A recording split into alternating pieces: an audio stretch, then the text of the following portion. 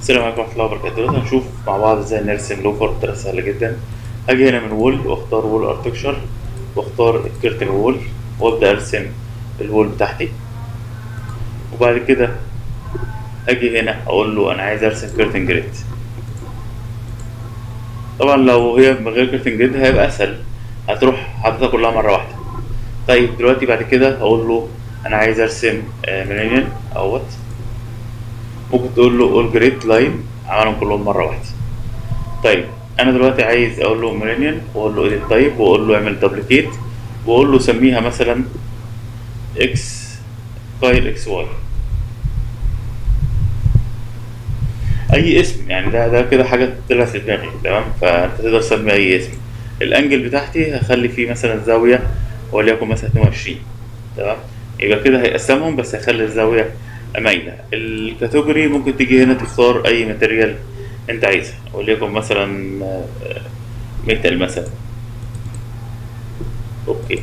okay. طيب. هاجي هنا وأقول له architecture وأقول له أنا عايز أرسم architecture wall وال curtain wall هدخل هنا تاني وأعمل duplicate وأسميها كايل تمام؟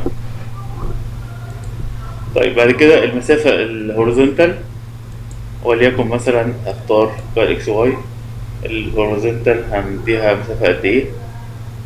نبدأ بقى نشوف ال horizontal grid. وليكن مثلا fixed number. تمام؟ أو بالمسافة. تمام؟ خليها مثلا point سبعة مثلا. okay؟ تمام؟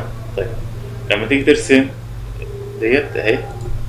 بدأت تظهر بالشكل دوت. ممكن تيجي هنا تلاقي مسافة كبيرة. فتقول له لأ طب أنا عايزها point one